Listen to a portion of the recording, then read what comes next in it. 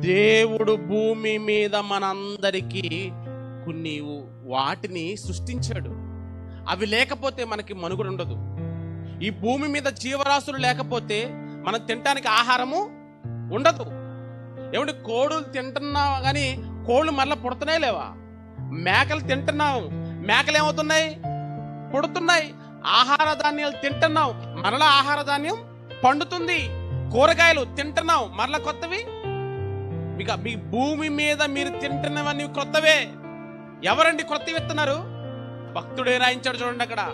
నీవు నోటిని విడిచి తన ఊపిరిని తన మాటని విడవగా భూమి మీద ఉన్న జీవరాశులు అన్నీ సృజింపబడుతున్నాయట. మనిషికి మేలుకరమైనవన్నీ సృజింపబడుతున్నాయట. అట్లు నీవు భూమి ఉన్న ఉపరితలానంతటిని భూమిని అంతటిని దేవుడు ఏం చేస్తున్నాడట? ప్రతిరోజు ఫ్రెష్ ఐటమ్స్ అండి. ప్రతిరోజు ఫ్రెష్ గాలి ప్రతి ఫ్రెష్ గాలి ప్రతిరోజు?